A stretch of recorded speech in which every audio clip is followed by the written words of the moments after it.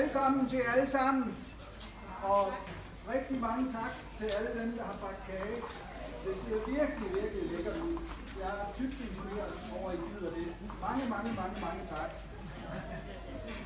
Og øh, så skal vi jo lige have udtrukket i blandt dem, der har bagt kage. Øh, tre gavekort, 500 kroner. Så øh, har du bare haft din kage med? Nej. Så, så lader vi dig få lov at snakke med den her. Nu skal vi se, hvad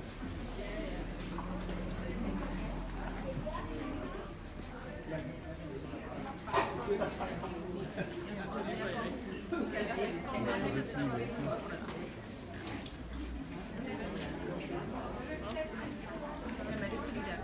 Han- Hanne Kærgaard.